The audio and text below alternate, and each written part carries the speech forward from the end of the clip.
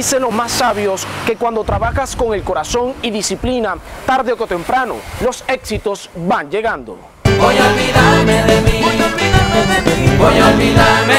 Soy Beto Ariño Castro y a continuación les contaré la historia de un músico vallenato quien hoy brilla con luz propia en el exterior. Él es Jonathan Daza. Algunas personas tienen el don de llegar a este mundo con talento con una serie de habilidades y destrezas que los hacen únicos y los llevaron a convertirse algún día en profesionales en su campo de acción. Él es Jonathan Daza, un músico vallenato quien vivió gran parte de su vida en el barrio Gaitán de Valledupar. Me criaron mis abuelos paternos, el señor Esteban Daza y la señora Lidia Camargo. Eh, me inculcaron valores y principios. El volar cometa, el jugar boliche. Recuerdo yo que me iba al río Guatapurí, me escapaba, me sentaba horas y horas a ver el correr el agua. Ay, hombre, cómo duele, cómo duele, cómo duele recordar y cómo duele. Su madre y demás familiares recuerdan algunos de esos momentos, cuando ya el pequeño Jonathan mostraba su inclinación por la música. Hijo, mis mejores recuerdos están a partir de los tres años, cuando comenzaste a, a pensar en ser un artista. Me siento muy orgullosa de ti y de todo lo que has logrado no solamente como profesional y como músico, como artista, sino también en tu vida personal. Amigos y vecinos también recuerdan como si fuera ayer la infancia de Jonathan. Auguro mucho esto para Jonathan y sé que es una persona que eh, espiritual, cristiana. Nunca lo vi con una bota de hierro, nunca lo vi tomarse un trago. Jonathan para mí es como si fuera mi hijo. Sí.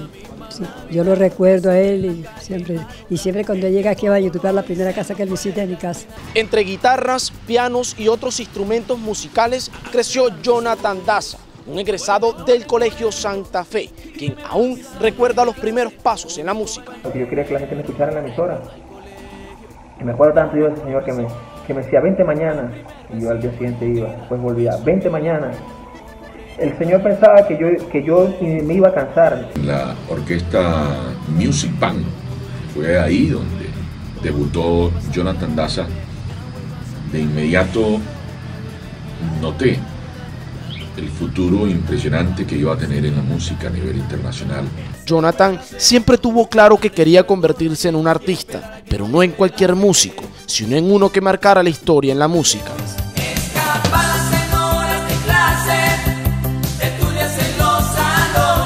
Ese tema grabado en el año 93 y que hoy sigue sonando fue interpretado por este vallenato, después de hacer parte de la Music Band.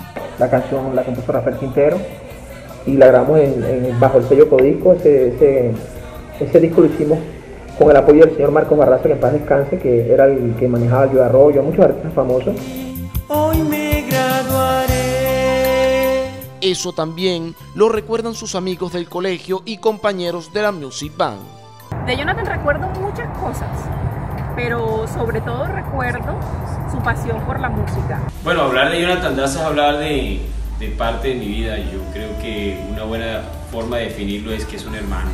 Hermano mío, que Dios te bendiga, que sigas logrando esos éxitos que con tanto trabajo, tanto trasnocho, tanto esfuerzo has logrado. Ese joven talentoso que yo quiero y que sigue ahí, insistente, luchando por lo que quiere. Su hermana también tiene aún en su mente aquel primer regalo que le hizo Jonathan estando en la Music Band. Fue un Barney que aún conservo. Me llena de tanto orgullo saber que eres mi hermano, te amo, te adoro, eres mi ídolo. Aunque no todo fue color de rosa en su vida musical. Eh, recuerdo, yo te tenía en el cuartico, me daba mucha tristeza porque era muy pequeñito el cuartico y hubiera querido darte muchísimo más, pero no pude. Este artista la tiene clara y a pesar de que nació en la capital del Cesar, se arriesgó a grabar merengue, un género que poco se escucha en esta ciudad, pero que sin embargo tiene similitudes con la música tradicional de Valledupar, el vallenato. Para esa época queríamos hacer algo distinto de lo que todo el mundo hacía. Hoy radicado en la Ciudad de México, en la capital azteca, recuerda lo difícil que fue dejar su tierra, sus amigos, sus costumbres, en busca de un sueño. Eh, dejar eh, la tierra no es fácil, dejar nuestras costumbres, nuestras raíces, nuestra familia, nuestros amigos, la comida. Aquello que una vez soñó este vallenato, poco a poco se hace realidad, porque ya se codea con los mejores de la música latina hasta el punto de ser invitado especial a los premios Billboard Showcase en la Ciudad de México. Es un honor y un orgullo poder ser, como siempre, un embajador vallenato de la distancia.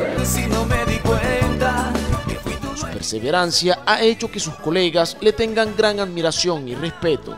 Es el primer loco que veo de Colombia, de México, que, que iba a Cuba a hacer promoción. Nunca había visto un joven así con la mochila en la espalda. Él es un artista admirable, es un colombiano ejemplar y un ser humano maravilloso. Eh, amante de su Valledupar. Tus amigos acá en Colombia que te recordamos, también te extrañamos, y, pero más que todo te deseamos que sigas teniendo muchos y muchos éxitos. Mi estimación y mi aprecio para Jonathan Daza, gran hombre, gran padre, gran compañero. Noble, carismático, servicial y sobre todo buen padre. Orgulloso de ti, papá. Te amo. Mi nieto Jonathan, que yo lo quiero mucho. Así es calificado por sus seres queridos este vallenato, quien un día emprendió un viaje hacia otro país con un objetivo claro, convertirse en uno de los mejores, sueños que poco a poco va cumpliendo sin olvidar sus costumbres, sus raíces y sobre todo el amor a su patria, esa Colombia que hoy en día representa de la mejor manera. Vengo de la tierra del sabor, vengo de la tierra donde nace el sol, amarillo y rojo es mi pasión. Este vallenato nos enseña que los sueños pueden hacerse realidad en tu tierra o fuera de ella, pero hay que tener las cosas claras y arriesgarse. Es así como se gana. Para RPT Noticias y con la cámara de Cristian Sanes informó Beto Ariño Castro. En donde me encuentre estaré, orgulloso de ti, a donde vaya diré que vengo de ti, Colombia tú eres mi pasión.